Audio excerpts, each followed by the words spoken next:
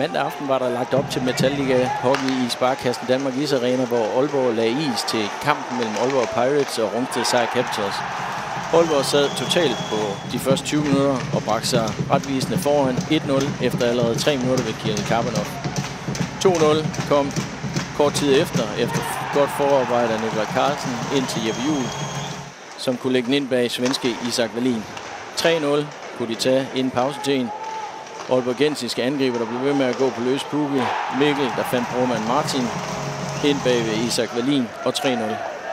Rungsted kom ud med fornyet energi, nyt engagement. Lukas Andersen finder Mathias Rønberg. Afslutningen kan Thomas Lille ikke holde, og Morten Jensen gør det til 1-3. Men et langt angreb for Aalborg tog pusten fra Rungsted-folkene. Lasse Bo Knudsen kom frisk på banen. Han lavede kanonen helt op i målhjørnen, uden chance for Isak Berlin, og dermed 4-1 midtvejs i anden periode.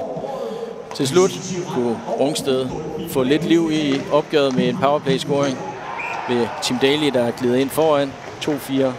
Men det blev også resultatet, og tre velfortjente point til Aalborg.